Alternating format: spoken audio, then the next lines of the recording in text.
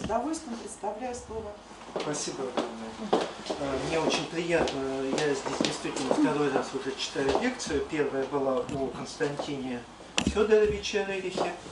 И э, я надеюсь, что мы к теме семьи Рерихов еще подойдем.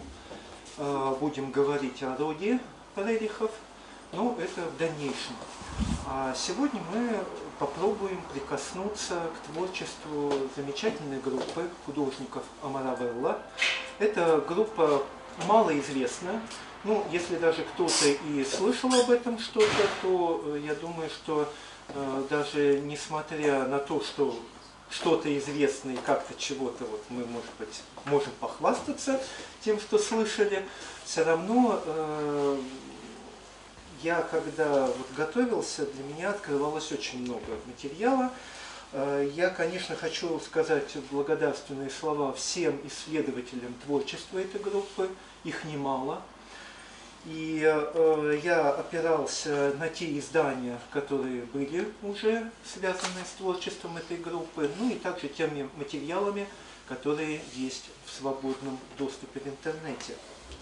Э, Надо сказать, что впервые э, об этой группе я услышал в далекие 80-е годы, э, когда э, собиратель живописи этих художников Юрий Линник приехал в Таллин, и тогда вот он впервые рассказывал об этом явлении.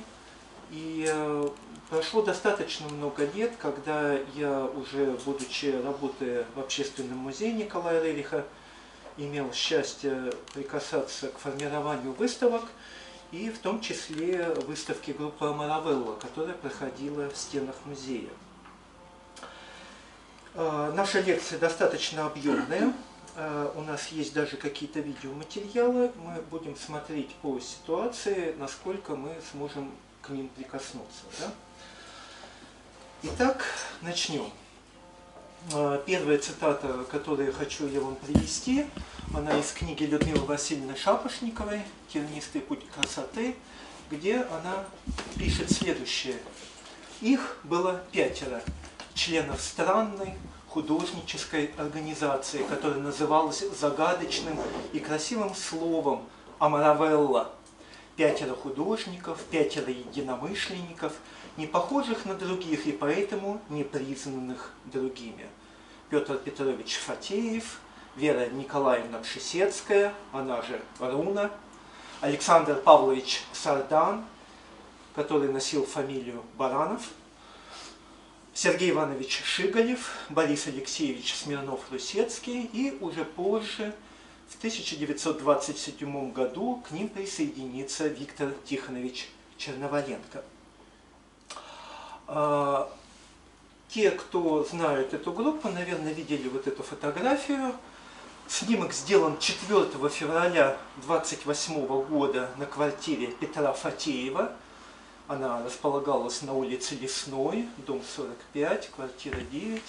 И, как пишет Людмила Васильевна, они вышли из недр Серебряного века, ими владели идеи духовной революции, и зарождавшееся тогда космическое мироощущение полностью занимало их воображение и направляло кисть. Те, кто видел эту фотографию, ну, она достаточно известна, э, я хочу спросить, обращали ли вы внимание вот на это белое пятно? Рука. Абсолютно верно. Чья рука? Ну, по идее, Щиголева. Смотрим следующий снимок. А, вот так вот. Смотрите, вот она, первая тайна группы Маравелла. Замазанный портрет, да, и новая фигура. И смотрите, фотография обретает целостность своей композиции. Неужели художники вот так несообразно разместились перед камерой? Ну это же смешно. Неужели не, они не обладают чувством композиции? Правильно, композиция-то вот она. это смотрит сюда, этот сюда, и, соответственно, все обретает свой смысл. Седьмой художник в группе Владимир Яцкевич предположительно родился в 1877 и был расстрелян в 1938 году в Красноярске. Отсюда понятно, да, замазывание этого образа. Владимир Яцкевич вместе с братом Семеном стали бывать у Петра Фатеева почти одновременно с Виктором Черноволенко, то есть 27 год. Владимир был одаренным графиком, рисовал фантастические корабли, но его привлекали только художнические принципы группы. Те идеи, которые исповедовали основные члены группы, его не увлекали. А вот брат Семен, да, он увлекался действительно философией, о которой говорили основные члены группы художников. А, я наткнулся на историю Владимира Яцкевича совершенно случайно – и э, вот этот номер эмблему для группы Амаравелла. То есть это не какая-то проходящая фигура все-таки, да, а действительно, который оказала определенное влияние да, на формирование образа Амаравелла. В центре бегущий человек, его левая рука вытянута вверх, на ладони он держит шар, а правая рука лежит на левом плече, вот здесь, вот видите, и голова склонена таким образом, что лоб бегущего упирается в локтевой сгиб. Символика эмблемы утрачена, известно только, что ей отводилась роль экслибриса для книг и бумаг. А, существует второй вариант экслибриса, где слово «амаравелла» идет понизу. Да? Название Маравелла появилось в 1927 году, хотя группа сформировалась гораздо раньше. Сформировалась она в ходе подготовки к выставке картин в художественном центре Корона Мунди, да, «Венец мира» переводится в Нью-Йорке – и Амаравелла – это результат игры слов, это не перевод. Да? Вот мы говорили сейчас вот с организаторами лекции, что ростки бессмертия – это наиболее известный вариант расшифровки слова Амаравелла. Но мы говорим, что это не перевод, а это игра слов. Какие же это слова? Это, конечно, прежде всего санскрит, Амара – бессмертный, Амаравант, подобный бессмертным, Амарант, неувядающий цветок, Амаравати, обитель бессмертных, да, знаменитый город да, на горе Меру, да, столица Сварги, небесного царства Индры. И вторая часть Вела, санскрит, предел, берег, время, граница, латынь, паруса, каравелла, морское парусное судно. Да? То есть игра слов дала вот такой интересный симбиоз. Да? Нет точных данных, кто же все-таки придумал это название. А, вполне возможно, это было совместное творчество, но э, большей частью э, пути дороги сходятся к Сардану. Сардан, да, он придумал сам себе вот этот псевдоним, вот эту вторую фамилию. Он любил очень играть словами, и, скорее всего, э, основу вот этой игры слов дал именно он. Хотя, конечно, и Пшесецкая, и остальные, э, те, кто входили в группу, сыграли свою роль. Еще один интересный момент. 19 век, есть уже слово Амаравелла, и это псевдоним Эдварда Коломбо, который публиковал свои статьи в журнале «Люцифер», который издавался Теософским обществом. Любопытно. Так играли это слов, или это цитата того, о чем могли предполагать члены группы художников, да? А, в 89 1889 году была опубликована ряд статей Махатмы сквозь время, да, сквозь эпохи, да, и оккультные аксиомы и их символы. Да. Вот, вот эти статьи издавались в журнале «Люцифер» э, за 1889 год. Предназначение, вот здесь вот это, да, вот на английском, да, нести свет фор или фосфор, да, отсюда идет, да, тоже, опять же, свет, несущий. Очень любопытно. И обратите внимание вот на эту часть журнала и вспомните эмблему группы. Есть определенный какой-то момент переклички. Итак, э, мы будем очень много обращаться к цитатам э, Смирнова-Русецкого. Как мы помним, это один из основополагателей группы. И он наиболее много просто оставил воспоминаний об Амаравелле. Она складывалась по каким-то духовным законам. Каждая встреча, которая приводила нового участника группы, была не случайной. И все очень рано осознали, что, несомненно, те связи, которые между нами возникали, эти связи идут из далекого прошлого.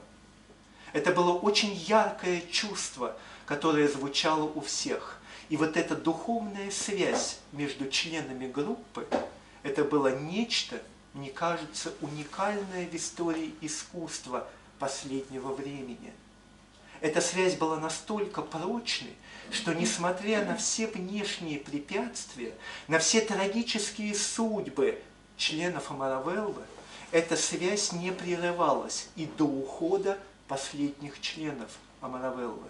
Все мы считали себя единым целым. Цитата из Людмилы Васильевны Шапошниковой. «Особое место в их творчестве занимала музыка, которая была тем формообразующим началом, откуда возникала новая красота, новая эстетика самого художества. В ней звучали космические ритмы, сверкающими красками ложившиеся на полотна и творившие на них новую картину привычного мира озарения, всплывавшие из глубины существа самих художников, опережали научные открытия и грядущие философские нахождения. И всплывает еще одно имя в группе. Это Анатолий Францевич Микуля. Я думаю, что даже те, кто занимался творчеством группы, вряд ли назовут это имя. Итак, э, знаменитый скрипач Родился в 1882 году в Варшаве, окончил училище Московского филармонического общества. Его признавали выдающимся скрипачом-виртуозом, и особенно он славился исполнением произведений Никола Паганини. Самые трудные пассажи исполнялись им настолько легко, изящно и гибко, и он так глубоко и остро чувствовал музыкальное произведение, что буквально завораживал всех своих слушателей. Как любой талантливый человек, естественно, он писал стихи. В 16 году выходит его сборник «Птица Галка», вот здесь его автограф и стихотворение из этого сборника «Единорог». Повторится древний миф. Из достоинств и недостатков этих стихов, но мне кажется, это любопытно. Сергей Конемков, знаменитый скульптор, да, они с Анатолием Микули были друзьями, и существует знаменитый портрет скрипача 1912 год, который был вырезан Сергеем Коненковым в Греции, куда они ездили вместе с Микули, из куска красивого дерева, как писал э, и говорил Коненков, может быть, из той самой рощи, где некогда прятались дриады. И древние греки, как вы знаете, расписывали свои статуи, да, и таким же образом был раскрашен этот портрет, и сохранились следы авторской раскраски красного, желтого, синего, зеленого цветов.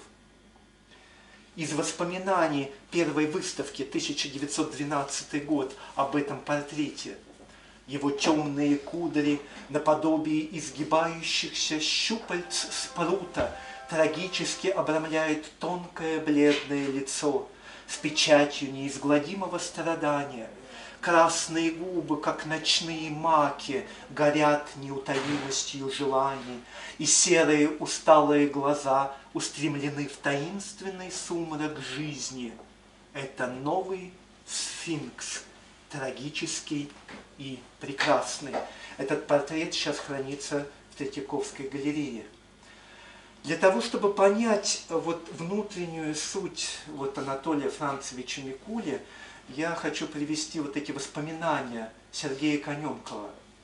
Пришел скрипач Микули, увидел моего Баха, побледнел от волнения.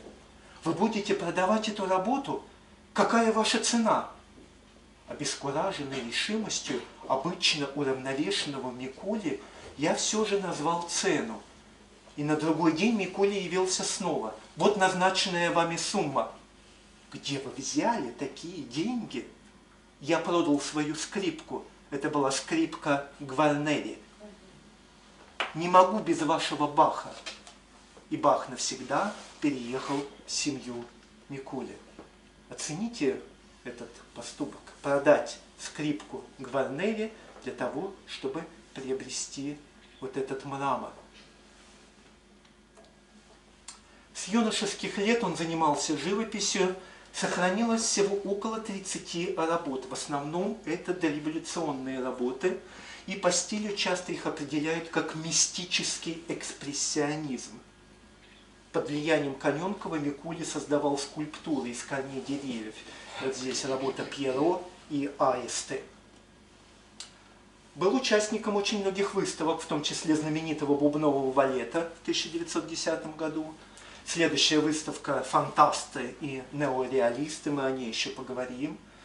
Первая выставка Московского общества «Звено», Музей изящных искусств, так называемая выставка пяти, да, Музей изящных искусств, понимаете, да, нынешний ГМИ Пушкина, и музей Николая Рериха в Нью-Йорке, ни много ни мало.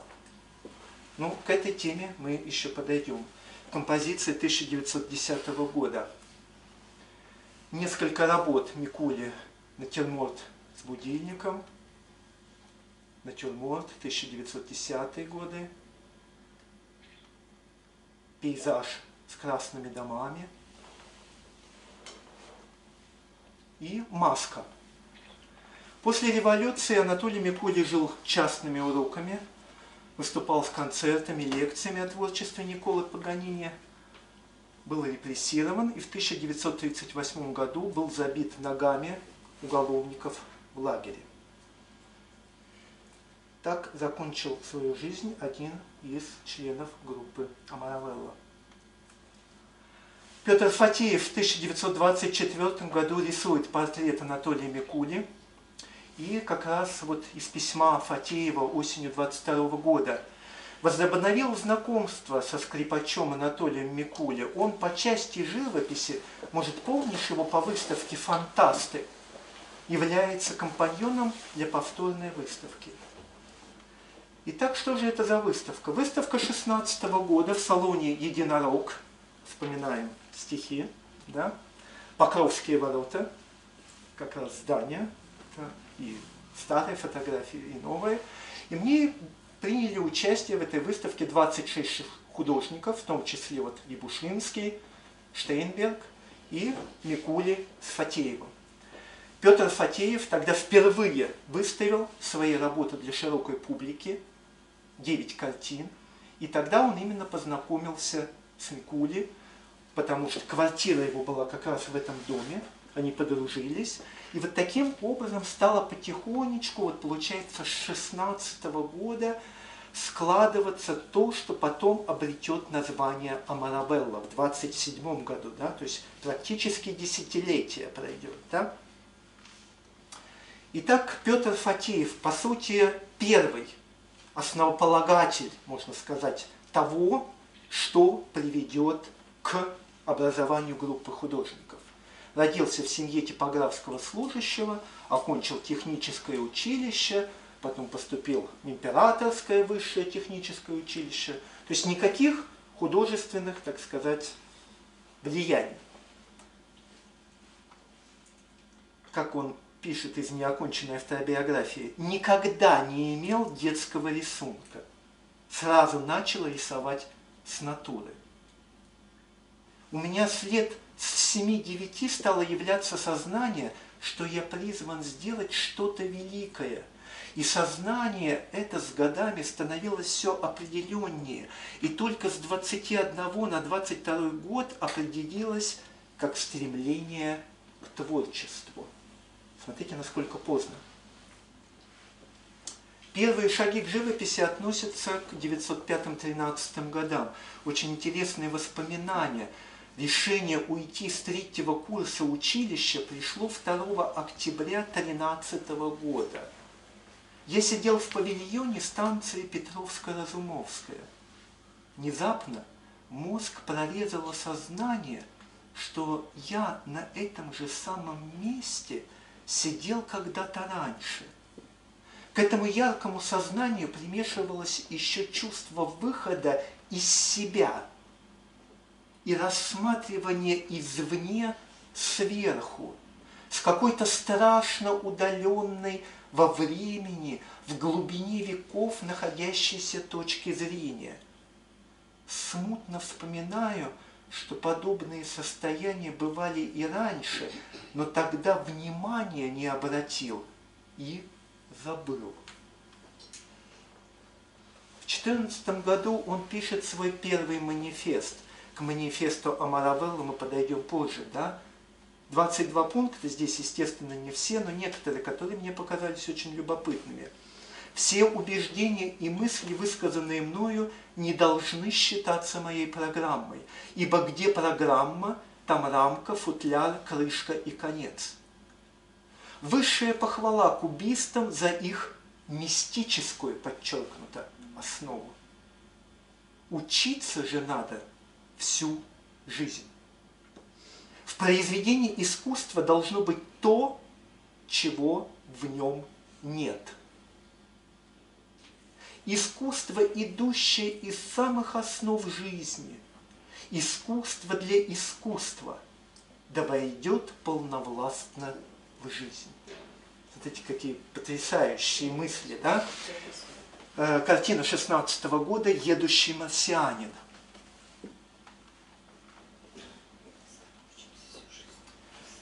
Второй манифест появляется буквально вот через несколько месяцев, да, и как он пишет, в дополнение и опровержение первого.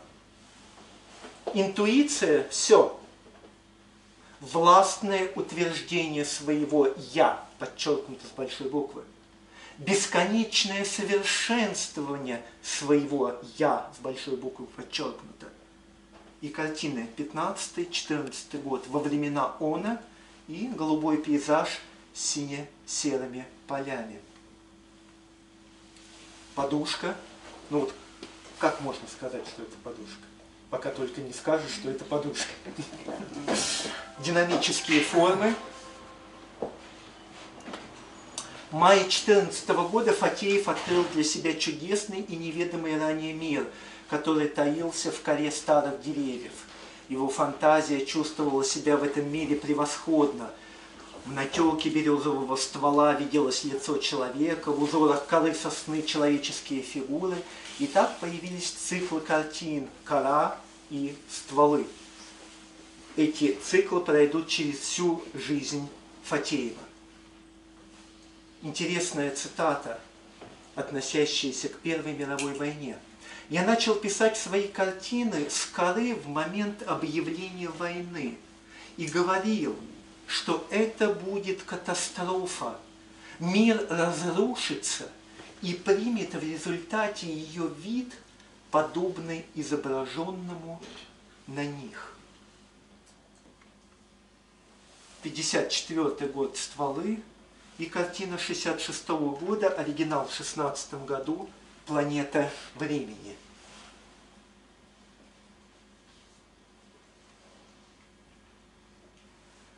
В 17 году пишет статью, размышления как появились на свет мои эскизы к Заратустре. Ну, вы помните, в начале века эта книга пользовалась колоссальным влиянием на умы русского общества. Помните, у Елены Ванны и Николая Константиновича есть переписка по этому поводу, да, как они тоже рассуждали об этом знаменитом э, трактате Ницше «Так говорил Заратустра». Да? И вот что э, пишет Фатеев. Когда я читал Заратустру, был конец июля и первая половина августа 15 года.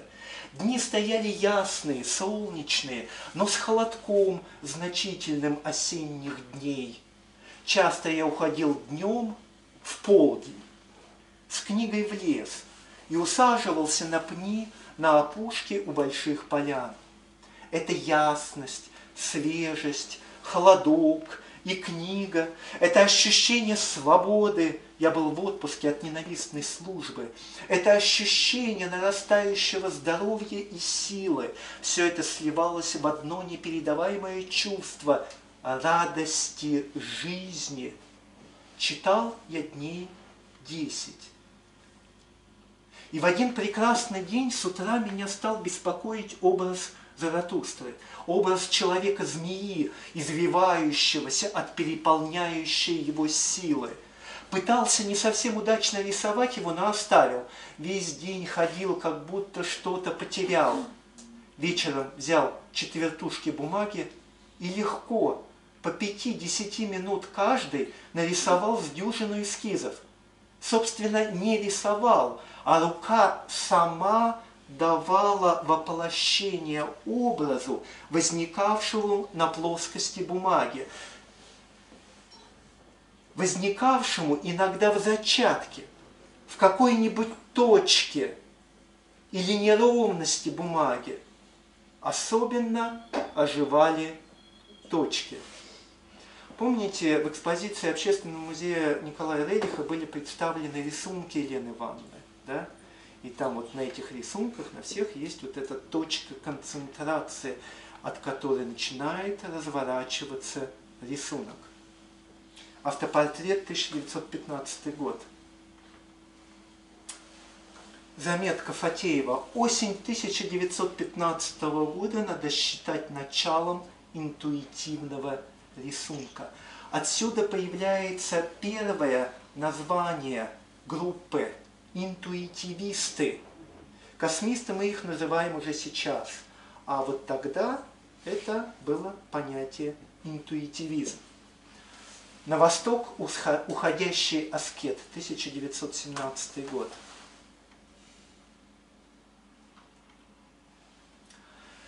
И несколько работ из цикла Заратустры, относящиеся к разным годам. «Выше звезд», идущий. Над этим циклом Фатеев работал 34 года с перерывами. 24 картины по 21 год, 9 картин с 38 по 42 и поздний период 47-49 год и 26 картин, распрямляющиеся и в лучах солнца.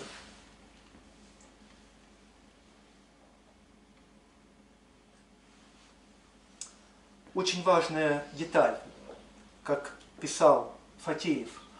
Образы, возникшие у автора после чтения «Так говорил Заратустра» Ницше, не представляют прямой иллюстрации к этой книге и явились совершенно интуитивно. То есть не надо искать соотношение картины с тем, что написано у Ницше. Это совершенно разные вещи. В лучах солнца и на фоне орла. Благословляющий 48 год, парящий на фоне солнца 38 год. С цепью на руках 49 с посохом, змеей и орлом. 48.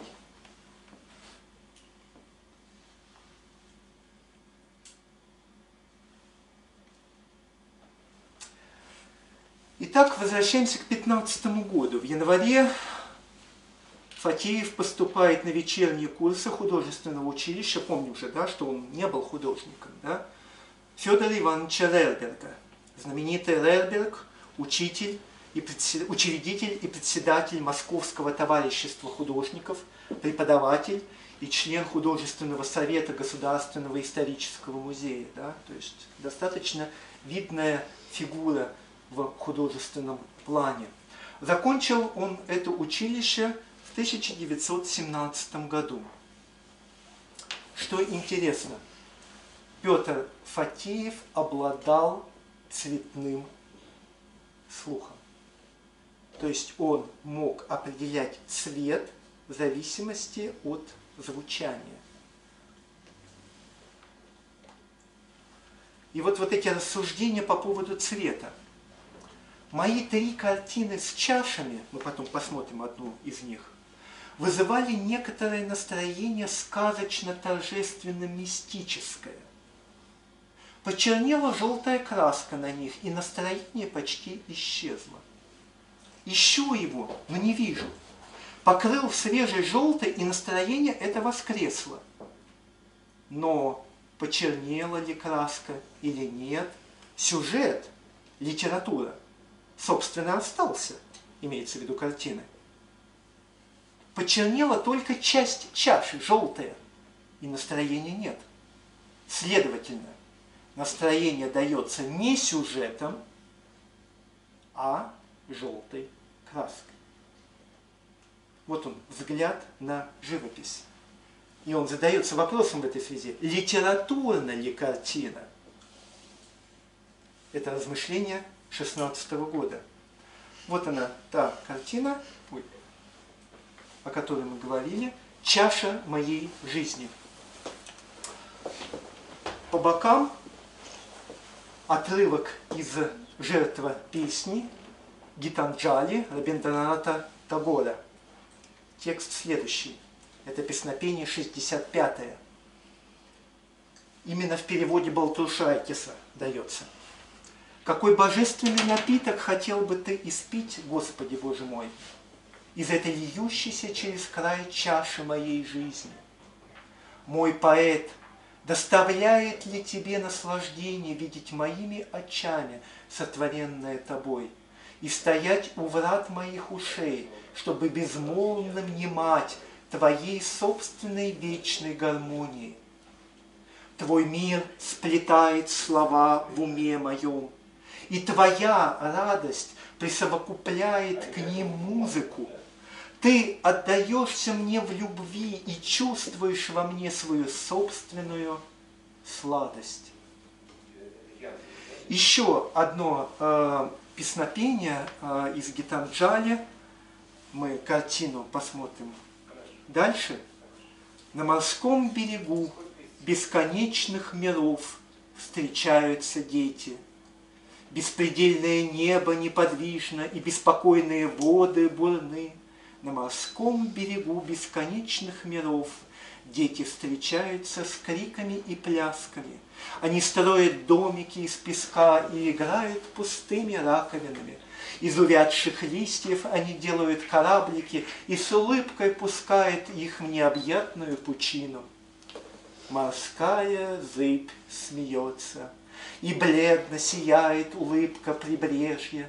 Сеющие смерть волны поют пустые песни детям, подобно матери, качающей колыбель младенца. Море играет с детьми, и бледно сияет улыбка прибрежья. Буря скитается по бездорожью небес, корабли гибнут в неизведанных водах, смерть вокруг, а дети играют на морском берегу бесконечных миров, великое сборище детей. Вот она, эта картина, 16-18 год, дети на берегу моря. Обратите внимание, как волны, да, вот здесь изображены берег, как рыба, да, и дети с раковинами. Конечно, было бы любопытно увидеть ее живьем. Итак, запись 4 мая 2017 года о новом цикле работ. То есть, видите, мы так потихонечку двигаемся. Да? опыт интуитивного построения иного мира по со- ассоциациям старого. Из этого цикла сохранилось 10 картин периода 17-21 года. Четыре картины были написаны после долгого э, перерыва в 63 и 65 годах. В картинах, наиболее ярко выражающих этот период, можно заметить полную враждебность к видимой реальности живых существ старого мира. То есть невозможность представить себе в пейзажах этого периода живых существ старого мира, особенно человека. Если бы в подобной обстановке оказался человек – то ему нечего было бы там делать. Он был бы там гостем другого мира, подавленным грандиозностью и чуждостью обстановки. Но эта враждебность является не благодаря холодной безжизненности, а наоборот, благодаря переполненности всего жизнью, но жизнью иного порядка, который насыщен каждый атом пути в непознанное. Опыт интуитивного построения номер два.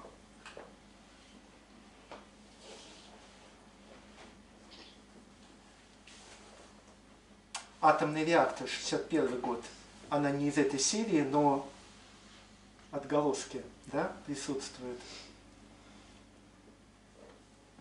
Фантасмагория, 65 год.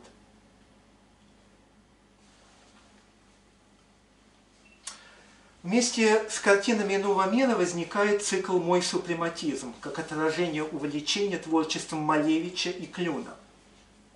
Но, как у Фатеева, все не дословно цитируется, а преломляется через что-то. В данном контексте через мысли древнегреческих философов. И вот цитаты, которые были выписаны Фатеевым из книги «Филебус» Платона. Цитата Сократа – я говорю о красоте форм. Я не говорю, как многие могут подумать, о формах живых существ или об их изображении на полотне.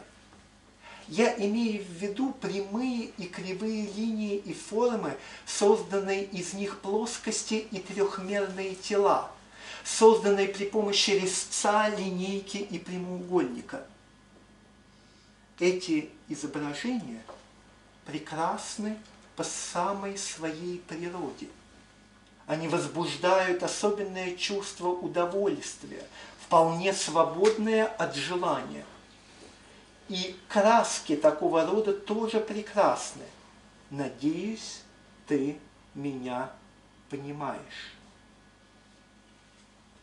Девятнадцатый год, мой супрематизм.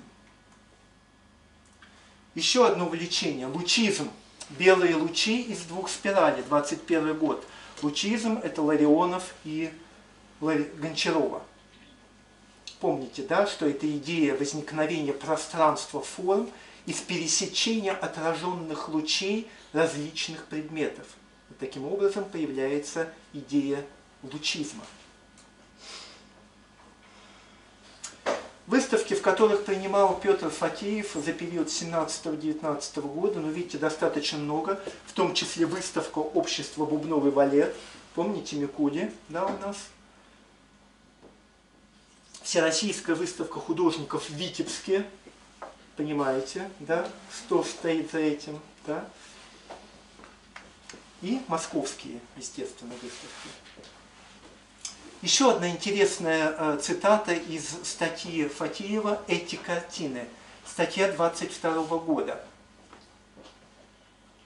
Эти картины не для погрязших в материализме, не для плененных ложной реальностью видимого мира, не желающих видеть и закрывающих, как страус, голову в песок перед лицом бесконечного – не для тех, кто не любил ночного звездного неба, не для тех, дух которых дремлет, скованный в рамках рутины.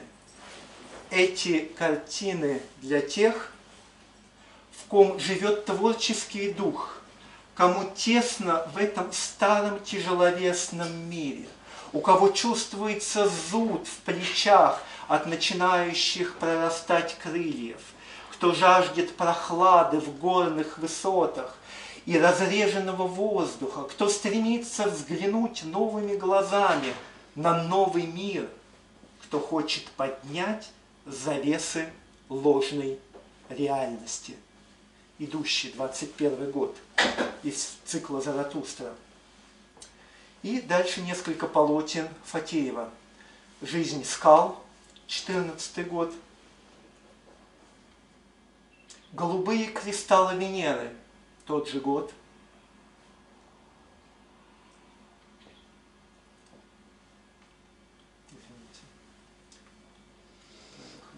Клубящий космос, 23 год. Затем оркестр, 30 год. И любопытная картина 39 -го года «Люди джунглей». Как вот здесь написано, да? Импровизация на тему сна из главы «Люди джунглей». Это книга Вальдемара Баднзельса «Путешествие в Индию», 16 год. А сейчас вам расскажу смешное.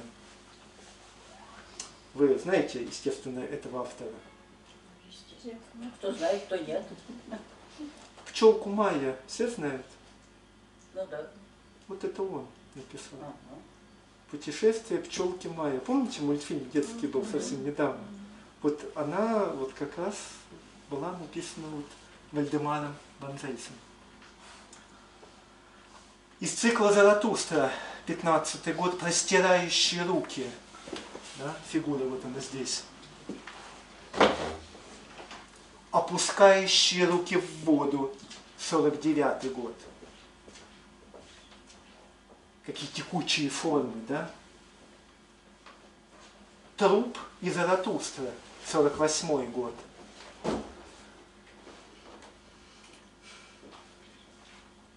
Сквозь огонь, 49 год.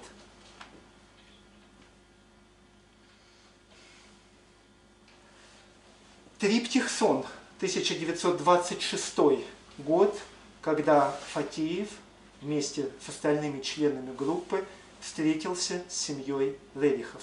Об этом мы еще будем говорить. Триптих, музыка, шествие, явление.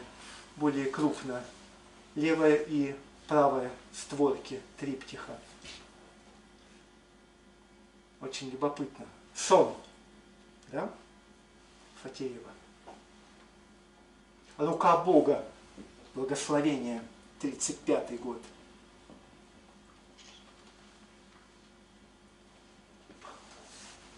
Вселенная конечная и бесконечная. 53. Очень красивое. Потрясающее полотно, конечно. Доскифская Русь, юность планеты. И смотрите, какой подзаголовок. На Венере. Причем здесь Доскифская Русь? На этот вопрос я ответить не могу. 49 год. Портрет женщины с огненными волосами, 49 год.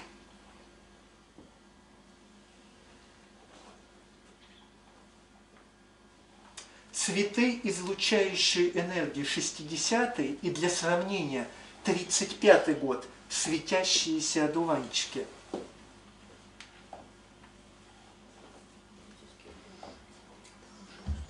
Интересно, любопытно. Светлое небо над иной планетой, 62 год.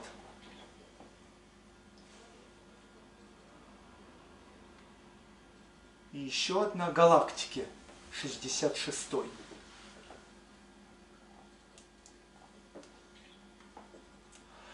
Итак, в 1922 году на Кузнецком мосту состоялась выставка, где было представлено целых 106 картин Петра Фатеева. Это эскизы к Заратустре. И из письма осень 22 года Петр Фатеев пишет, решил устроить выставку в центре. Нам посчастливилось получить бесплатно приличное помещение от картинного кооператива «Тарх» на Кузнецком мосту. Посещаемость была очень велика. На открытии была порядочная толкучка, и ежедневно в среднем сотни-полторы-две бывало. Это, конечно, объясняется тем, что вход был бесплатный.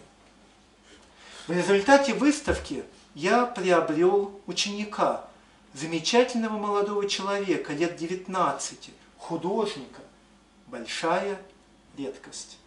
Это был Борис Алексеевич Смирнов, потом Смирнов-Русецкий. Да? То есть вот таким образом один притянулся к другому. Автопортрет Ваури Фатеева, 24 год. Итак, Борис Алексеевич Смирнов, осень 22 года, его воспоминания. Внутренне все сложилось таким образом, что встреча с Петром Петровичем пришла в свое время. Действительно, она была необычайно своевременна. Эта встреча произошла на Кузнецком мосту в выставочном зале, в одном из тех залов, которые сейчас уже не функционируют. Меня сразу поразили работы Петра Петровича. Я почувствовал какой-то отзвук, какое-то родство с миром Чурлениса. Но особенно меня поразила одна работа, вернее несколько, объединенных в цикл, посвященный Заратустре. И пока я раздумывал над этим циклом, появился Петр Петрович. Он вошел, можно сказать, почти вбежал на выставку, такой быстрый, устремленный. И когда я его увидел, то, конечно, мне страшно захотелось с ним поговорить. Превозмогая свою робость, взяв каталог, подошел к Петру Петровичу и спросил его, а что же все-таки означает «так говорил» и многоточие? Дело в том, что когда э, каталог набирала машинистка, то она не распознала слово «Заратустра», и она вместо слова «Заратустра» поставила многоточие. И так каталог вышел с многоточием. Но она не знала, кто такой Заратустра. Вот. И поэтому Смирнов его спрашивает, так говорил Заратустра?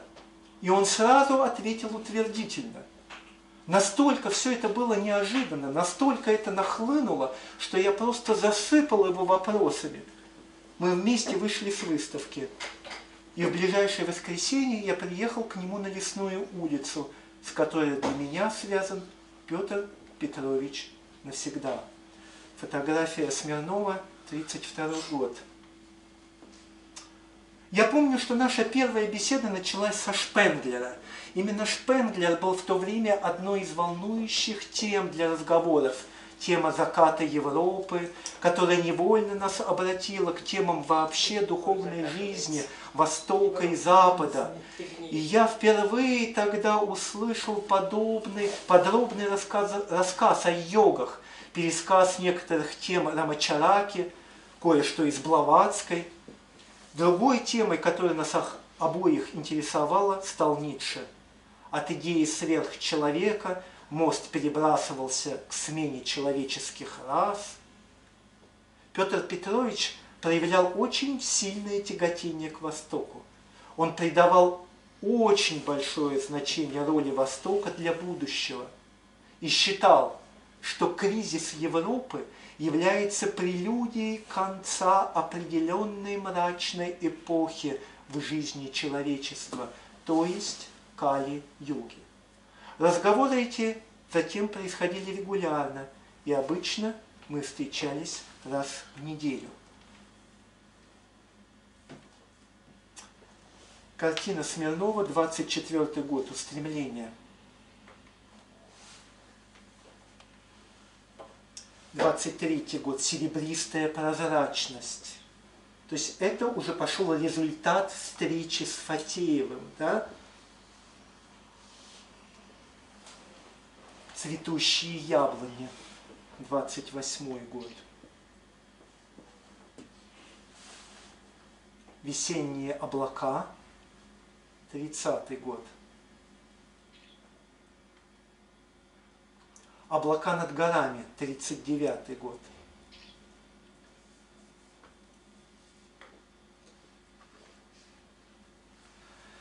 Итак, э, Борис Алексеевич родился в Петербурге в семье офицера, учился в Тенишевском реальном училище, и в 17 году семья переехала в Москву, тем самым спаслась от погрома, да, который был устроен в октябре 17 году в Петрограде, когда две трети города было вывезено бандитами. С 1919 года посещал рисовальную школу в Кусково. Особое влияние на его занятия оказал дядя, искусствовед Иванов, знавший очень хорошо Николая Константиновича Рериха. У Иванова да, есть потрясающая э, монография о Врубеле, удивительная. Переписывался с Кандинским, ни много ни мало, да, и, как уже говорилось, 22 октября 22 года произошла встреча с Фатеевым, что стало этапом формирования группы Маравелла. Опять же, вспоминайте Рерберг. Да? Фатеев учился у Рерберга. Смирнов начинает с 23 года посещать студию Рерберга. Да? То есть не без влияния опять получается Фатеева. Да? Затем поступает во Вхутемас, где учился на отделении графики. И в 30 году, не представив дипломную работу, получил только справку о прохождении курса. С чем было связано это событие, мы поговорим еще позже. 30-й год, запомните это. Действительно, Фатеев в лице Смирнова нашел э, э, настоящего ученика. И, э, как пишет Смирнов, Петр Петрович аккуратно посещал центральный рынок, где были лавки букинистов. Стоили в это время книги баснословно дешево, практически отдавались за бесценок. Он работал и поэтому вполне имел возможность приобретать книги. Я же, как студент, таких возможностей не имел. Библиотека моя была ничтожна, и я пользовался его книгами. Как раз вот та серия, о которой мы можем говорить. Я приезжал в город обычно очень рано, вспоминает Смирнов из статьи «Идущий». И чтобы в слишком ранний час не явиться к Петру Петровичу, шел около часу пешком от Курского вокзала на Лесную – уже подходя к дому, я испытывал особое волнение. Действовали, вероятно, и его личность, и его творчество, и моя повышенная восприимчивость. Его картины таковы, что в них реальность, опирающаяся на наши конкретные впечатления, раскрывает недоступное глазу и воздействует прямо на сознание. Фотография 27-28 годов уже из воспоминаний 73 -го года. Часы общения с учителем – самые счастливые часы, которые могут быть в жизни человека. Наши сознания были настроены в унисон. Это самое большее, что можно желать в искусстве. Фотографии уже послевоенные, 57-62 годы. Смирнов был арестован 24 июня 1941 года и был освобожден только в 1954 году без права возвращения в Москву и Ленинград. Бумага о реабилитации ему была вручена в 1956 году. Но это отдельная тема, конечно. Как он был в лагере и как он там жил. Картины. 73 год. Дозор ангелов. Космическая геометрия. 65 год.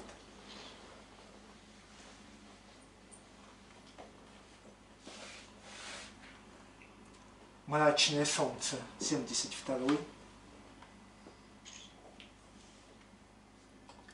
Град нетонущий Китиш. 77 -й.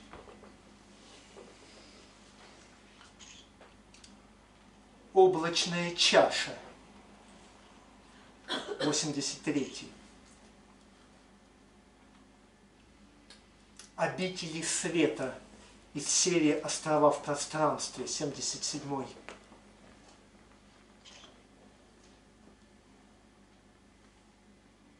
Млечный путь 65 из цикла «Космос».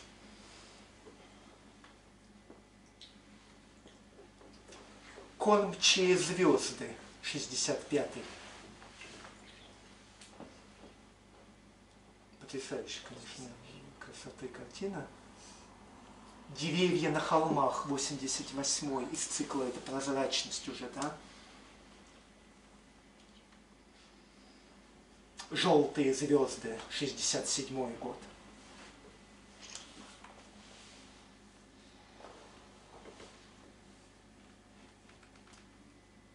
В лучах неведомого солнца 74 Запомните эту картину.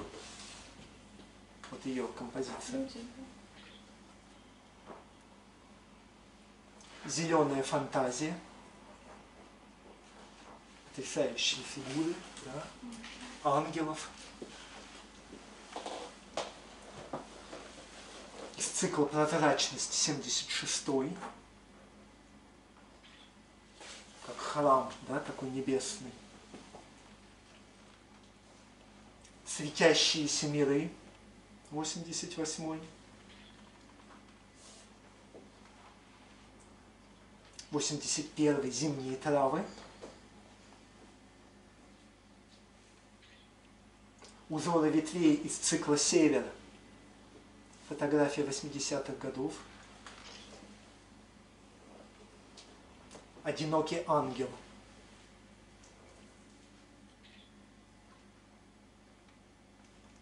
Зимняя ночь. Фантастика, я считаю. Гимн заката 91 одна из последних работ Смирнова-Русецкого. Еще одна скала у озера. Карелия видна, да, сразу. Но при этом какая прозрачность, действительно, да? О цикле прозрачность мы еще поговорим позже. Итак, мы возвращаемся в 23 год, да, когда целый месяц в Музее изящных искусств прошла так называемая выставка пяти. Желтым я выделил тех, кто войдет в группу Амаравелла, и плюс еще два художника, с которыми они были связаны. Но именно вот эти трое составляет уже по сути, вот как постепенно, видите, так уже был один, два, три уже, да, и вот здесь в скобочках это картины, которые выставлялись, да, вот количество картин, которые было представлено на выставке. И вот осенью 24 года в Музее живописной культуры, это ныне Московский архитектурный институт, состоялась встреча и знакомство Смирнова с Барановым, с Орданом. Воспоминания. Остановившись и задумавшись перед черным квадратом Малевича, я неожиданно столкнулся взглядом с Александром Павловичем. Он взглянул на меня и, увидев такое спокойное и сосредоточенное созерцание картины, спросил меня, а как вы думаете, что хотел изобразить художник? Вот с этого весьма несложного вопроса началось наше знакомство. Итак, мы подходим к новой фигуре. Александр Павлович Баранов. Родился в Москве, учился в музыкальном училище имени Гнесиных и закончил его в 29 году по классу композиции. То есть понятно, что он сочинял музыку. Сохранилось более 40 вокальных инструментальных произведений. 20 года стал пытаться рисовать музыку. Это особенность его живописи. То есть он не рисовал пейзажи, он рисовал прежде всего музыку. Переписывался с Зинаидой Григорьевной Фоздик, которая была ближайшей сотрудницей семьи Рерихов в Америке, попечителем и членом Совета директоров Музея Рериха в Нью-Йорке. Ни много ни мало, да, опять же. Итак, в 30 году прошел подготовку, это мы сейчас будем фильм посмотрим, прошел подготовку по курсу кинорежиссуры в Авгике и поступил на студию Мостехфильм. Почему 30-й год? Вернемся, да, вот обратите внимание. Работал художником, кинорежиссером, сценаристом.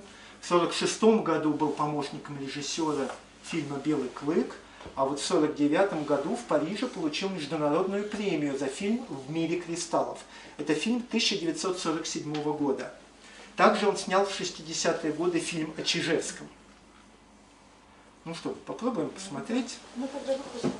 Да, да, видите, Недра нашей земли это в Сардан. себе несметные сказочные богатства.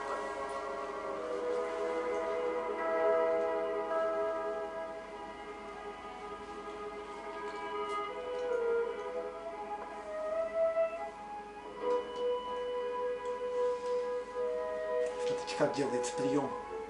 Это картина, которую создал художник. И вот мы Незабываемых попали в реальный мир. Оценили люди совершенство форм и красоту найденных Это 47-й в год. чистых, великолепно ограненных кристаллов. Они растут в темных, тяжелых, каменистых складках земной Обратите коры, внимание на текст. пещерах, трещинах и пустотах. В таких горных сейфах природа выращивает и хранит различные камни-самоцветы.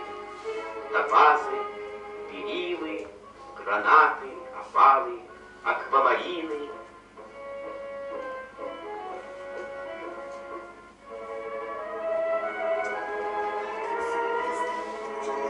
Живописные сростки ценных кристаллов горного хрусталя.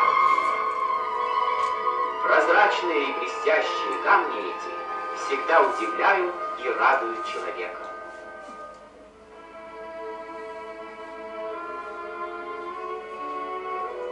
Фильм Трудно поверить, что их яркость Был. и поражающая правильность формы созданы природой, а не руками какого-нибудь мастера.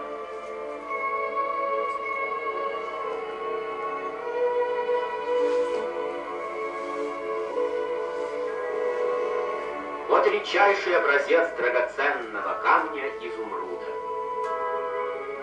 Это кристаллы антимонита,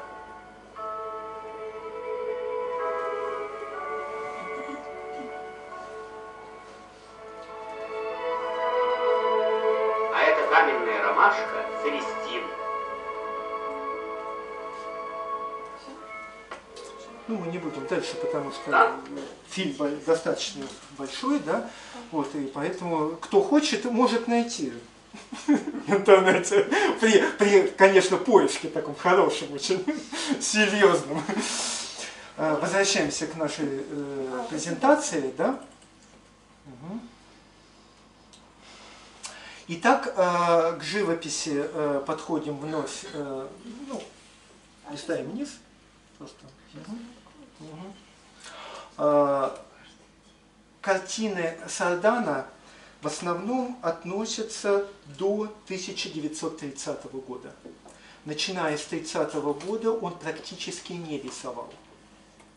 То есть он уходит в кино, он уходит в музыку в какой-то степени, но э, живопись практически завершается 30 годом. А просто вот сюда вот, вот этой А, вот потом нажмем. Да, да, да, вот сюда. До которого?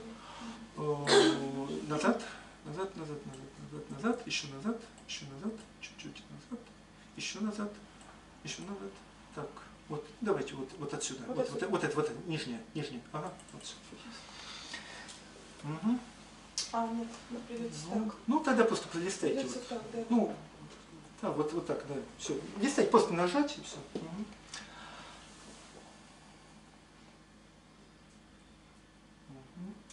Котеева, потом Смирнова Лусецкого. Мгм. Мгм. Мгм. Стоп, назад. Раз, два. Мгм. Вот, всё. Спасибо. Итак, мы говорили, что многие картины посвящены музыке, динамике пространства, и вот эта картина 22 года «Земля, океан, космос». Надо сказать, что первая выставка Сардана прошла только в 1975 году, персональная. Следующая картина «Дары Вселенной», 22 год. Баранов был старше Смирнова на три года. Они быстро подружились и в 24 году пришли к Фатееву вместе. И так группа увеличилась еще на одного человека. Как мы уже говорили, Александру Павловичу его фамилия не нравилась, он придумал себе новую, Сардан, да? и э, таким образом он и станет уже впоследствии себя представлять. Звучание в пространстве, 23 год.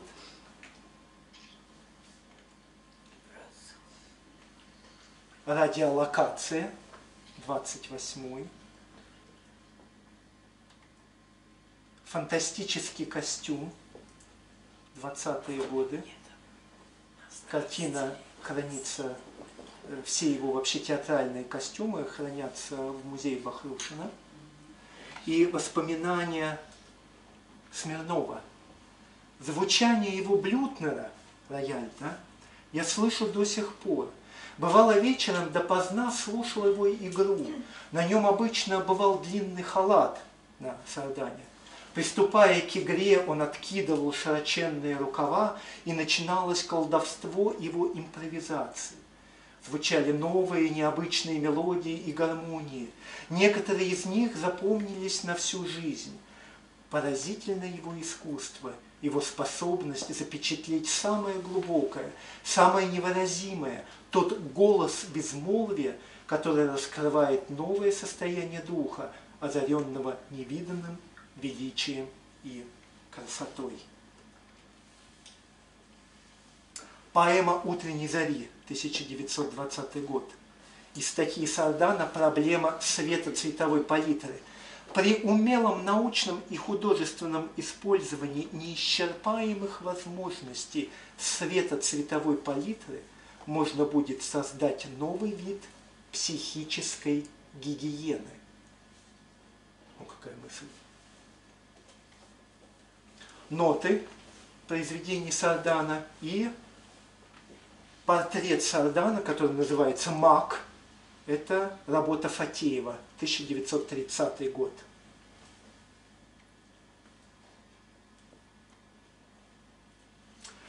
Некоторые его мотивы были в восточном стиле, другие назывались звездными.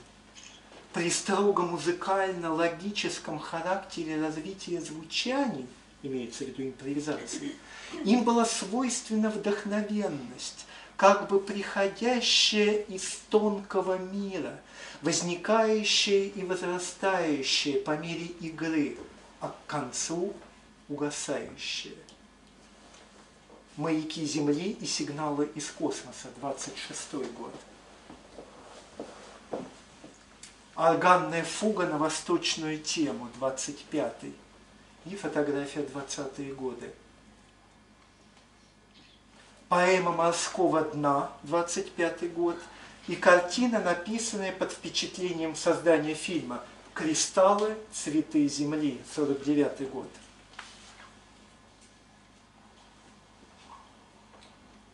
Какие краски они используют? Э, и гуашь, и э, темпера, и масло, смешанная техника. Акварель. Весенняя серенада, 23 год.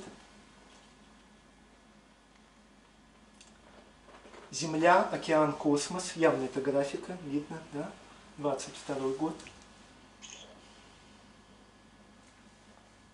Разведка в космосе 32 одна из немногих работ после 30 -го года. И Сардан пишет, в своих работах я пытаюсь передать синтетическое восприятие времени и динамики пространства, обогащенное гармоническими сочетаниями звуков и красок природы во всем ее величавом многообразии. Говоря о психофизическом воздействии проектируемой музыки красок, нельзя забывать, что это воздействие далеко не ограничивается тем, что называют обычно эстетическим наслаждением, а несет в себе малоизученный еще, но не подлежащий сомнению фактор мощного влияния на нервную структуру организма. В этой проблеме я выдвигаю проект о светоцветовом освещении городов, то есть его улиц, площадей и зданий работа 30 -го года, поэма «Изобилие». Ввысь, 30 год, фотография тоже того же времени. И одна из немногих работ, 42 год, Твердыня и портрет работы Фатиева, Сардан. И так появляется новая фигура – Вера Николаевна Пшесецкая. Анатолий Францевич Микули часто в 20-е годы давал скрипичные концерты большой аудитории Политехнического музея. И на одном из концертов Петр Фатиев познакомил Смирнова с дамой, которая сразу же и внешне, и внутренне произвела совершенно необычайное, несколько загадочное впечатление. Самого Фатеева познакомила с ней незадолго до этого Татьяна Александровна Тизенгаузен, его давняя знакомая. Ну, э, тот, кто занимался э, биографией Николая Константиновича и Елены Ивановны, должны знать, да, что Тизенгаузены были родственниками с Голенищевыми Кутузовыми. Да? Мать Елены Ивановны, урожденная Голенищева-Кутузова. Да? То есть Здесь уже идет речь о дальних родственниках Елены Ивановны. Итак, дама была невысокого роста, с изумительными золотистыми волосами. Действительно, таких золотистых волос я никогда не видел. Они были до колен. И несмотря на то, что она в тот момент уже отнюдь не была молода, волосы ее были густыми и удивительно красивыми. У нее были несколько немецкие черты лица, очень правильные, прямой красивый нос, довольно тонкие губы и какое-то очень одухотворенно привлекательное лицо.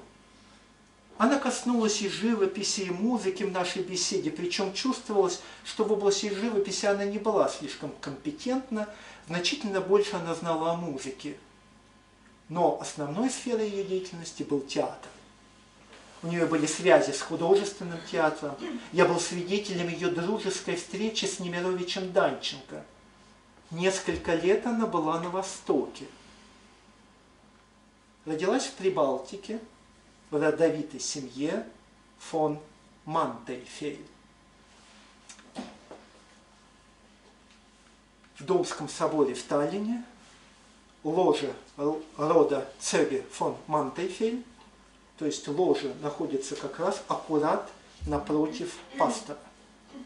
Ну, вы понимаете, что любой может себе позволить подобную вольность, да, быть наравне вместе с пастором для того, чтобы наблюдать за всей паствой в церкви. Да? То есть уровень рода. Да, как бы. Своим новым знакомым Вера Николаевна представилась как Руна. Она никогда не говорила окружению своему из какого она рода. Вот все, что мы говорим, это уже более поздние изыскания.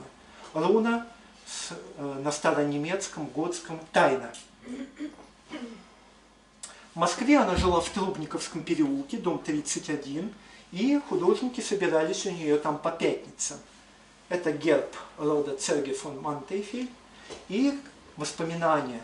В небольшой комнате всегда царил артистический беспорядок всюду театральные ткани, у стены египетский жезл с коровьей головой Изиды. Я даже немного его побаивался. Она очень любила культуру Египта. У нее были скоробеи и египетские покрывала. Молодость ее прошла в Петербурге. Вероятно, к этой поре относится ее недолгий брак с Успенским. Помните, это знаменитый был Теософ, да? Автор книг «Четвертое измерение» и «Символы Таро». По-видимому, благодаря ему Рона познакомилась с оккультизмом и участвовала в теософических кружках. Руна стала для меня духовной матерью, духовным центром всей нашей группы. Она объединяла нас, заражала своей энергией, умела сгладить возникавшие противоречия. Мне всегда казалось, что Руна еще до революции встречалась с Рерихом. Она много больше нас знала о его мировоззрении и внутренней жизни. Не была профессиональной художницей и стала свои силы пробовать только после встречи с Фатеевым, Сарданом и Смирновым. Однако очень быстро преодолела пору ученичества, и, э, к сожалению, все ее картины практически погибли. Известно только восемь наименований работы, из которых сохранилось всего шесть. Две находятся в Средней Азии и остальные в Москве в частном собрании. В основном это так называемые мистические портреты художников группы. А вот эта фотография 1904 года, это фотопортрет Шесецкой на открытке, посланной Бахрушину. Ни много ни мало, опять же. Да?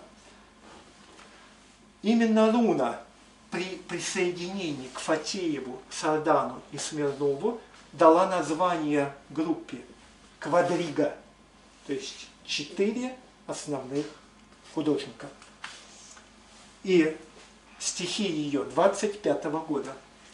Если есть электричество корни, они в вас, дерзновенно восставшие кони. Аполлон вами правит, ритма взмахи славит, ритма полет, электричество взлет, квадрига вперед. Топчи копытом лед, лед наслоений, вековых заблуждений. Идет эпоха возрождения в радиокруге единений. Из темной бездны хаос угрожает, размах железный копыт побеждает, как стебли из корня пьют цветенье, творчество взмахи стремят движения. Вот такие любопытные стихи. 6 февраля 30 года она была арестована вместе с Сарданом на дне рождения в доме Ксении Александровны Апухтиной. Была осуждена по статьям 58.10 и 58.11 за антисоветскую деятельность на три года лагерей. Принимала участие в строительстве театра в Архангельске. Ну, что должна делать актриса? Конечно, строить театр. Вот. И там осталась она на поселении – это фотография вот с общей фотографии 28 -го года, Сардан 40-е годы. И Александр Сардан был выпущен тогда после допросов под стражей, и к живописи после этого практически не возвращался. На него это произвело такое впечатление, что он абстрагировался, по сути, от группы, начиная с 30-х годов. Смирнов вспоминает, я был в 33 году в Архангельске и встретился с ней. Она была уже вольной и жила там. Встреча была радостной и торжественной. Руна как-то еще более духовно созрела, возвысилась. Все эти превратности судьбы, все, что она перенесла, укрепило ее духовно. Так что у меня осталось очень светлое воспоминание – у нее действительно был дар привлекать к себе людей, потому что ее удивительное чувство к людям, проникнутое величайшей любовью, доверием, умение в каждом видеть светлое, хорошее начало, вызывало доверие и к ней. В этом она была противоположностью Петру Петровичу, который зорко, но иногда явно отрицательно относился ко многому. А она старалась все смягчить и найти хорошее. Пока она была с нами, внутри Амарабеллы не было никаких конфликтов. Жила она в Архангельске буквально даром Божьим. Пенсии у нее не было, и ей помогали знакомые, как могли. Это фотография 1931 года Архангельский областной драматический театр, который строила Шесецкая, Руна, который стоит на месте Свято-Троицкого кафедрального собора.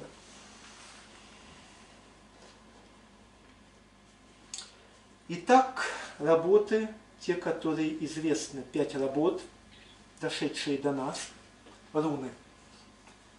Портрет Фатеева, Асархадон, 20-е годы. Стихи Валерия Брюсова. Кто превзойдет меня кто будет равнен мне, деяние всех людей, как тень в безумном сне, мечта о подвигах, как детская забава. Я исчерпал до дна тебя, земная слава, и вот стою один, величием упоен. Я вождь земных царей, я царь Асаргадон. Виден характер Фатеева.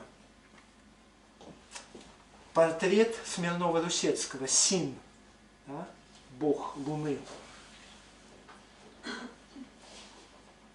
Портрет Сардана, Тар, его имя эзотерическое, 28 год. И второе эзотерическое имя Амарилис, Амарант, да, неувядающий цветок, 20-е годы, как раз цветок Амарилиса, да, здесь представлен. Еще один портрет Сардана, 20-е годы. Это все работы Шесецкой, которые дошли до нас.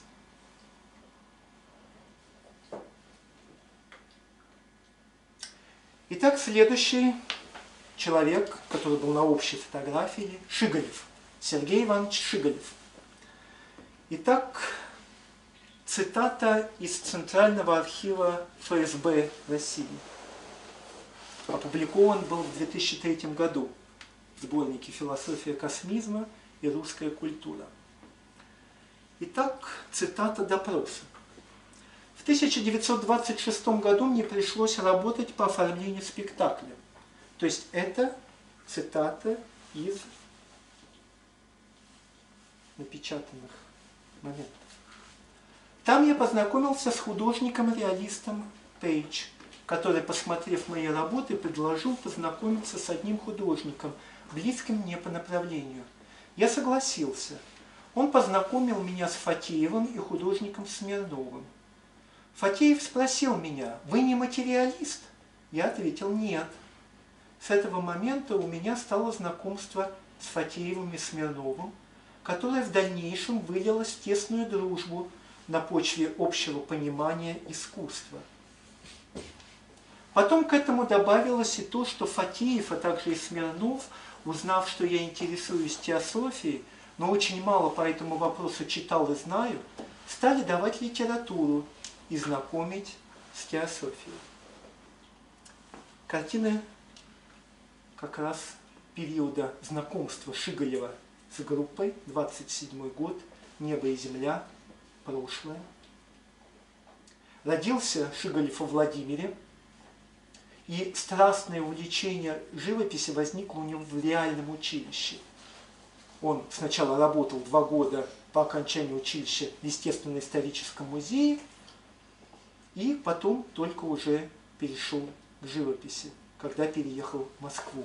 Лаборатория в космосе, 29 год. Октябрьский переворот не принял. Прошел через Крюковский лагерь под Москвой, где работал художником-оформителем. Был освобожден по амнистии в 21 году и поступил в Московский университет. Но ушел оттуда. И другой страстью, помимо живописи, был театр, идущий 28 год – «Зеленые лучи», 28 год. С 1933 года художник зарабатывает на жизнь мультипликацией. Очень э, любопытные сохранились некоторые рисунки. Во время войны, вступив в ополчение, попадает в окружение. И это является поводом дальнейшего его ареста, потому что ему это инкриминирует как предательство, потому что он не застрелился в плену. И точных сведений о годе смерти нет. Предполагают, что это 1942 год, Владимирский лагерь. Итак, картины Шиголева, которые дошли до нас. Да? 27 год «Дух огня», «Удары молнии», как руки да, здесь. «Рождение мира», когда еще не было человека, солнце, 27 год, вдали горы, сказка, 26 год, вспоминайте Черлениса, да? Солнечный ветер, композиция на поэзию Блока, какая музыкальность, да, потрясающая. Золотые рыбки на серебряном шаре. Капричо. Цикл был написан в 1937 году. Из четырехчастного цикла радиосоната. Это части Аллегро, Анданте, Скеркс и финал. То есть тоже тяготел к музыкальности. Да? Работа в космосе. Путник. Лаборатория в космосе, 28 год. Вестники в горах. И еще одна работа «Утренние звезды», очень красивая. И то, к чему шли. Который час? С 15. Девять? С ума сойти. До 12 успеешь. Как мы? Нормально? Нормально? 15 минут у нас еще есть. Ну, давайте 15 минут попробуем. Итак, то, к чему шли. Летом 1926 года художники узнают о приезде 15 июня в Москву семьи Рерихов. Телеграмма и фотографии.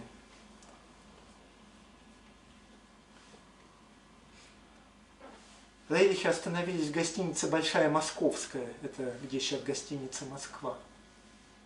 И решили, что первым пойдет туда Смирнов, потому что его дядя был знаком с Николаем Константиновичем. С глубоким волнением поднимался я по лестнице московской гостиницы, где остановился Рерих. Постучал. Дверь открыл Юрий Николаевич и пригласил войти. Я присел около столика в небольшой приемной. Навстречу вышла дама, изящно одетая. Темно-лиловое платье необычайно шло к ее темным волосам, уложенным в высокую прическу. И я сразу понял, что это жена Николая Константиновича. Она ласково улыбнулась и стала расспрашивать о моем дяде. Незаметно разговор перешел на другие темы. Увлеченной беседой я не сразу заметил, как неожиданно быстрой, энергичной походкой вошел Николай Константинович. Его глубоко синие глаза смотрели проникновенно и ласково, и сразу можно было почувствовать, что это не только художник, но поэт, философ, собравший богатую жатву восточной мудрости. Оставив портфель, НК сел напротив меня. Опять разговор зашел о дяде, о тех временах, но это было очень коротко. Он все внимательнее и пристальнее вглядывался в меня, и неожиданно взяв книгу «Озарение», он открыл ее на первой странице и прочел. Спросит, кто дал вам учение? Отвечаете, Махатма Востока. И так он прочитал всю страницу. Я был поражен тем, что он таким образом сразу ответил на все вопросы, которые я мысленно задавал ему. Книги, которые подарил Николай Рерих группе художников. И вот в воскресный день мы четверо, Руна, Фатеев, Сардан и я, собрались у обелиска Александровского сада и направились в гостиницу. До сих пор я помню, как спокойно, медленно поднимались мы по мраморной лестнице, и навстречу звучала музыка Шахерезады. Вот это приветствие Востока было необычайным. И вот мы сидим за большим круглым столом. Это чувство торжественности, чувство высокого присутствия было необычайно сильным. Позже, когда я узнал о том, что сказал учитель семье Рерихов об этой встрече, стало особенно ясно, что он незримо присутствовал на ней. После того, как Николай Константинович закончил вопрошание о том, что считаете самым главным в жизни, началась глубокая и серьезная беседа. И это было прежде всего изложение основ учения живой этики. Запись из книг живой этики 8 июля 26 года, то есть когда Рерихе находится в еще Москве. Учитель доволен, как сегодня НК Рерих говорил с художниками. Можно им послать книгу. Последователи пригодные. Не жду народные толпы, но малые колосья. Посев поколения начинает всходить, начинает подниматься зерно. Советую дать знаки художникам и ручаюсь за успех. Рерих побывал дома у Фатеева, Сардана и Руны и познакомился с творчеством этих художников. Я помню, как вошел Николай Константинович в эту бедную, очень скромную комнату. И вот Петр Петрович торопливо ставил на мольберт одну за другой свои картины. И Николай Константинович смотрел вновь и вновь. Изредка он кивал и изредка говорил, да, вот это. Он всегда так, понижая голос, как бы доверительно отмечал, что вот это заслуживает внимания. Тогда же Николай Константинович захотел приобрести одну картину Фатеева. Это была одна из первых работ его космического цикла «Звездное небо».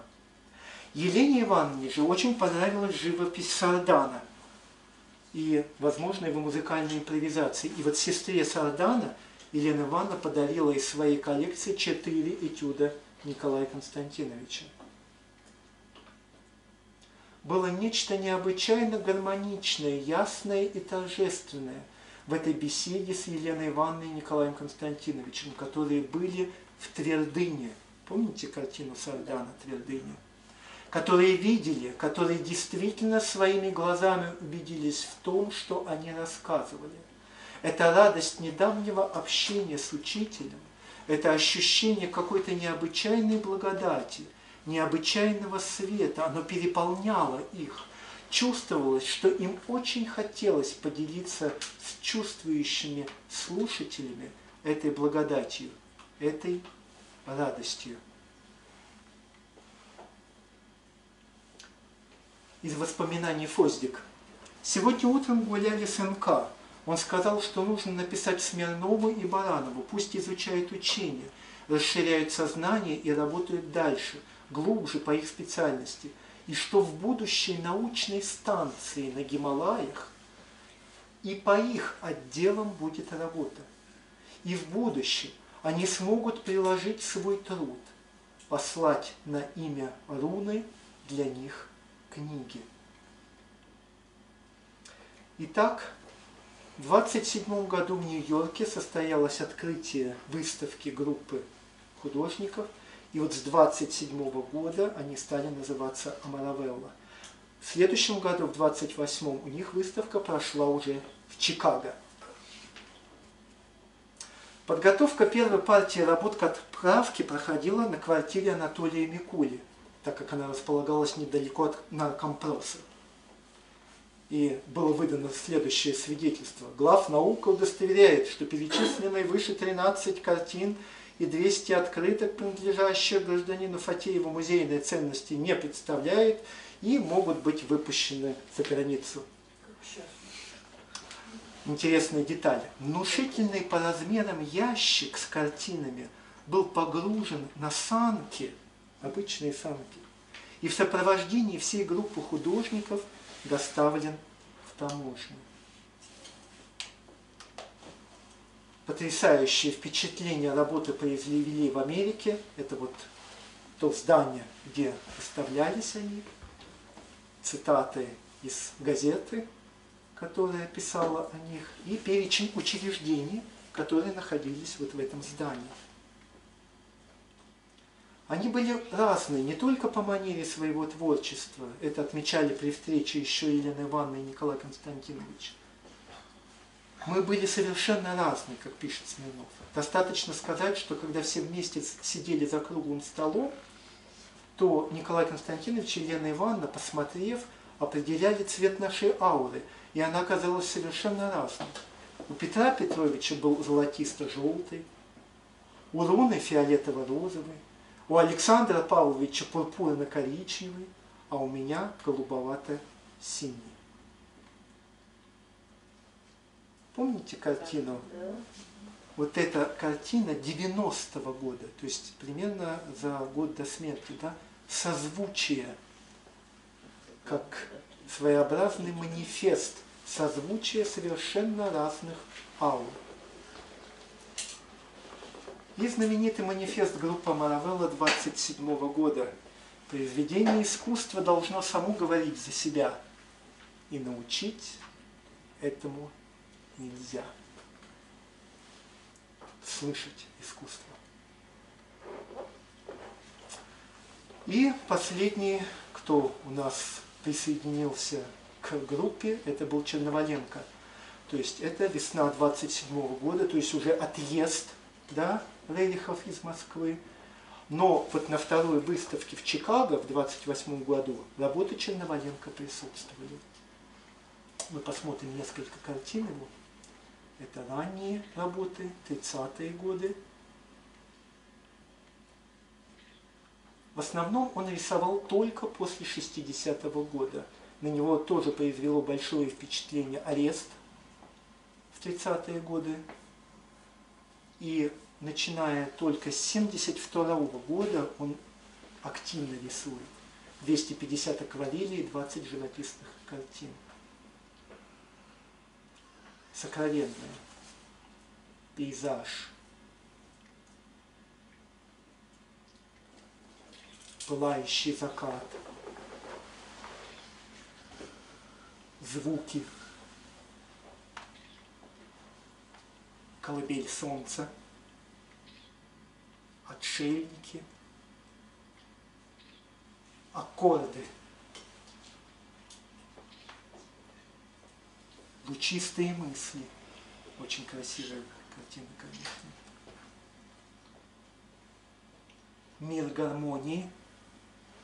Черновоенко э, тоже играл на фортепиано, причем он не был музыкантом. Он сочинял свои импровизации по наитию. Мелодия и ритм. У меня живопись настолько связана с моими музыкальными импровизациями, что думаю, если у меня отнять инструмент, я не смогу ничего нарисовать. И наоборот, если у меня отнять живопись, я не смогу играть. Посвящение Юрию Николаевичу. Посвящение Елене Ивановне. Почитание света, 68 год. Гимн. Искатели. Потрясающий по цвету, конечно. Два мира, 70-й год.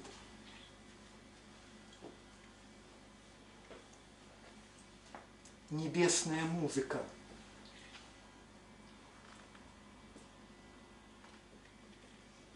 У истоков гармонии. Удивительная фигура, да, вот здесь.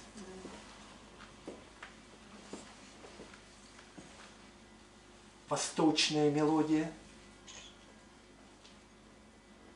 Опять фигура, да, вот это. Песнь звезд.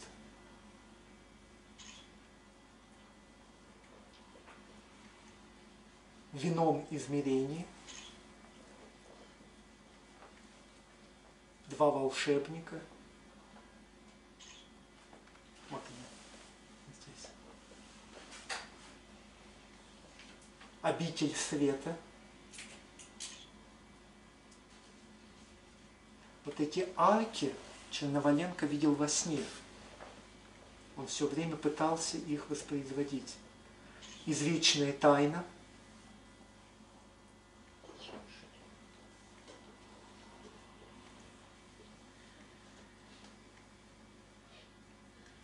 неопалимый цветок. Потрясающе, да, по узорчатости вот это. Симфония.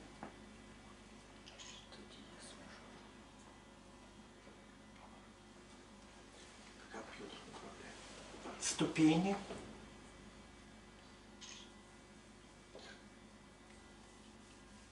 Волшебное зеркало.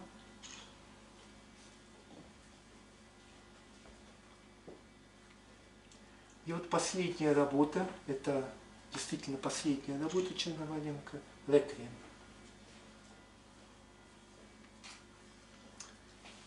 Ну и по сути завершая, прочитаем в одно мгновение видеть вечность, огромный мир зерне песка, в единой горсти бесконечность и небо в чашечке цветка. Не прибой, не отлив, но золотое течение космоса влечет ладью, и свернут парус на назначен берег. Щит мой горит, и из-за плечи блестят лучи подвига. Мой свет умножу и окрылю ступени ступни ног. Эти цитаты Черноваленко использовал в своих дневниках.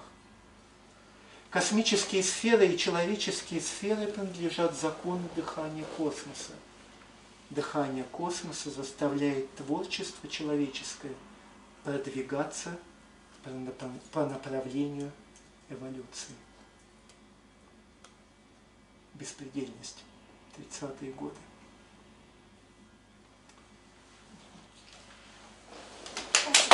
Спасибо.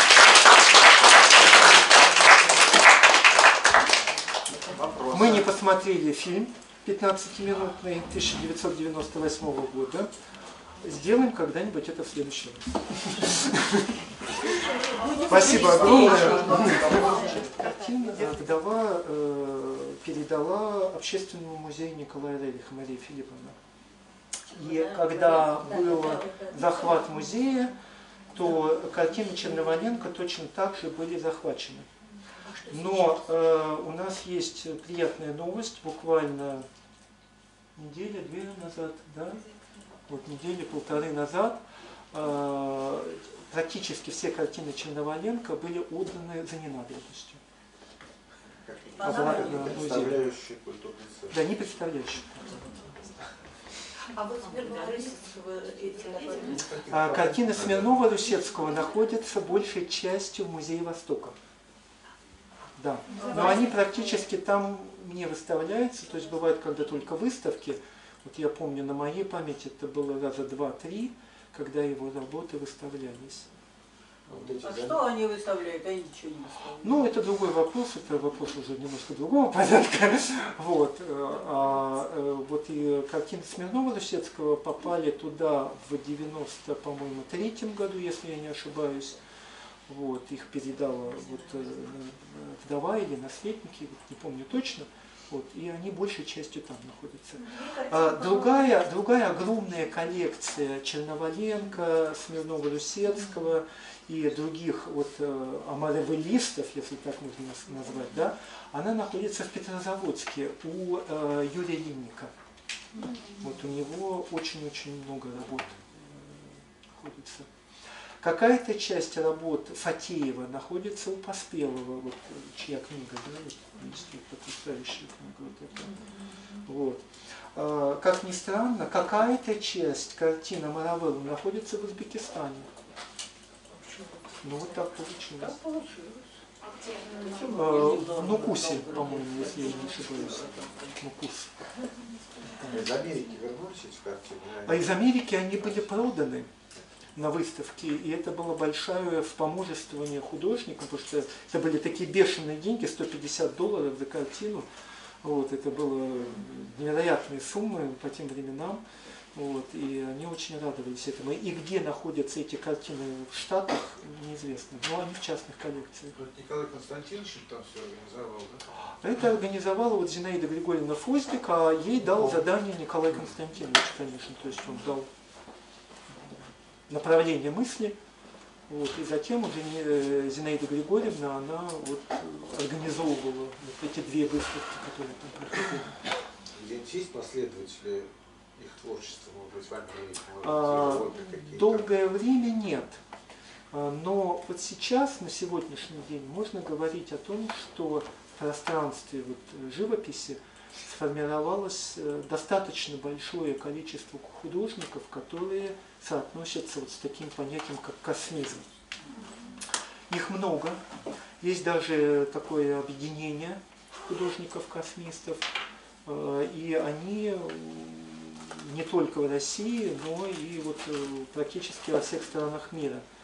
И это движение набирает, скажем, такую достаточно большую силу. Э, И вот достаточно большая коллекция космистов, уже современных, э, находится вот в общественном музее Рериха, и также э, одни из первых, кто стал собирать из государственных музеев, это музей космонавтики. Вот в музее космонавтики находится большая коллекция картин как Амаравеллы, так и современных художников-космистов. Вот. Да, да, где стела вот эта высокая, вот там, там. Они тоже не, не часто выставляются, но они там хранятся и бывают выставки. Что-то мы были вот, э, когда в Питере, э, вот, э, в Новой Голландии, там у них небольшой павильончик, и вот тоже что-то было посвященное космизму. Это Вполне возможно, я, к сожалению, вот не, не доехал еще до Новой Голландии, не был там. Поэтому только старой Голландии был, да, в Новой не был. Старый был, новой нет еще. Она была закрыта всегда. Когда я учился в Ленинграде, то это было закрыто. Они, я знаю, что там очень э, хорошо сделали, вот это. В планах, так сказать, посмотреть это всё. Ну что, спасибо огромное вам. Спасибо, спасибо, спасибо.